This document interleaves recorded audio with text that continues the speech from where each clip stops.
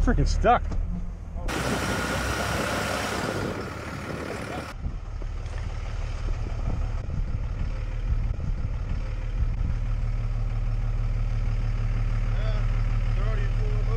Yeah. It's like a damn swamp in here. I'm gonna try to pull forward and try to come more this way since I already tore this part up.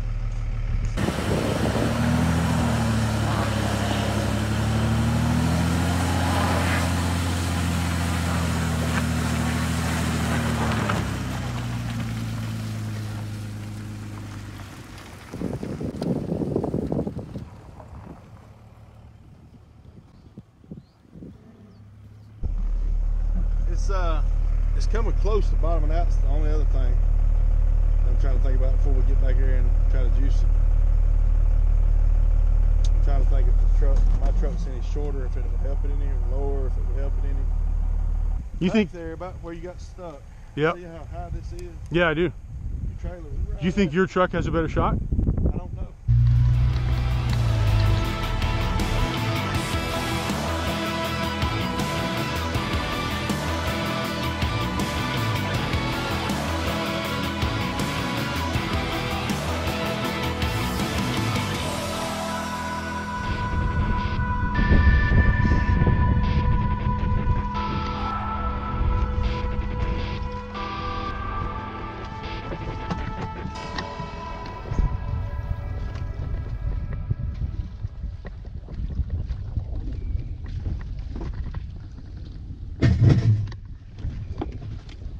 Is it?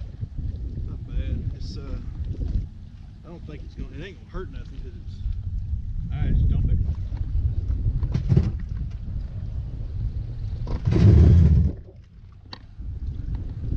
That's about half the width I was talking about. I think it's fine as that, it just sounds terrible. Yeah. What you gonna do? You gonna pull it back out and start over on Ross Barnett, or you gonna try to go ahead and put it in?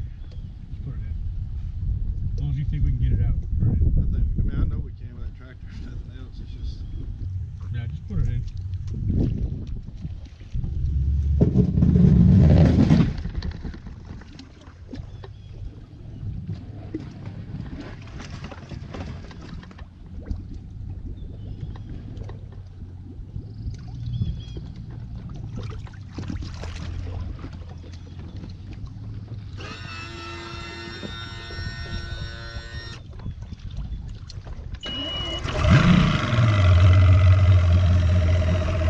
Well, I'm, su- I'm sure excited to be here. You know, I grew up in a cranberry marsh, fishing on my grandparents' cranberry marsh that had ponds and reservoirs like this. And there's no experience when you can get into one of these small bodies of water that's protected from all the fishing pressure, all the tournaments, and work on technique, work on baits, uh, throw something that you wouldn't normally throw that you need to teach yourself. It's a great opportunity. I would encourage anyone, if you've got the chance to get on some a small pond, even if it's a local municipal pond, just get out there and throw everything in your box so that when you do need it and you're in a tournament, you're comfortable with a spinnerbait, you're comfortable with a whopper plopper, you're comfortable with top water, or what's a Damiki rig. All those things, it gives you a great opportunity to work through the various techniques and how to catch big bass.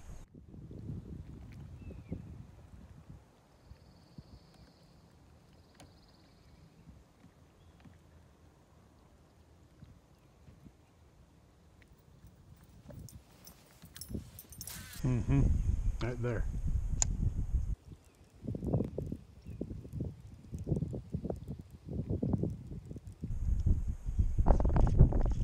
Here's one. It feels pretty good. We forgot the net. Oh my god, it's a giant. It's a giant. Oh, please come. Stay down. Oh, stay down.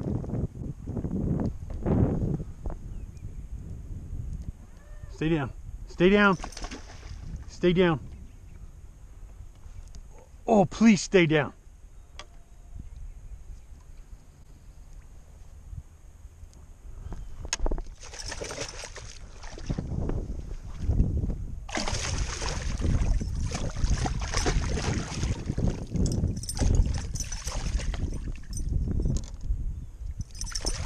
Yes! Look at that beast. Son! Come to Mississippi, you catch a big bass.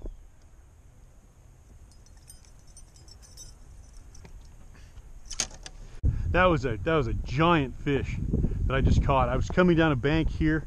I saw just a little bit of a stick up and I put the spinnerbait past the stick up, slow rolled it through and it just smoked it and took me to the bottom, swam away from the boat and I just held on for dear life, hoping that I wouldn't lose that fish. It was a great fish, put up an incredible fight. There's no feeling like that. Catching double digit bass, there is just no feeling like it. This here is a War Eagle, uh, half ounce spinnerbait, something I like to throw in, in dirty water. Uh, really, really seems to come through. I've got a pretty good sized Colorado blade on there to give it a good clank. Um, I'm throwing the, uh, the Vursa medium heavy uh, made by Fitzgerald.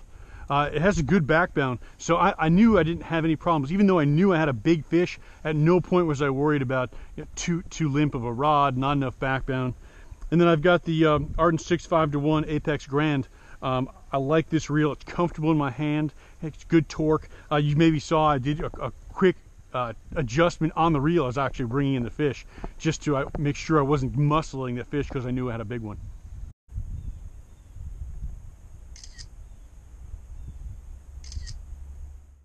What a great fish. What an awesome pond this is. What a great day.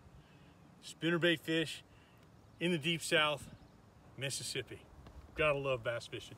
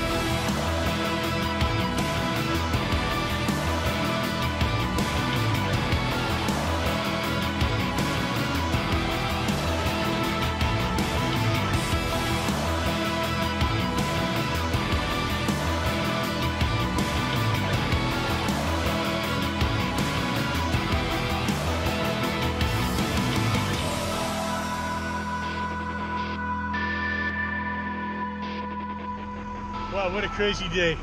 Stuck before we ever got to the lake, out in some swamp somewhere. Stuck when we got out of the lake. Had to get a tractor to pull us out. It was uh, quite a southern adventure I had today. But I tell you, it was all worth it. That big 10 pounder I caught, uh, that was a thrill. Uh, I, I, can't tell you how fun that was and what a great day it was. Uh, thanks, Mississippi. Had a great time. See you next year.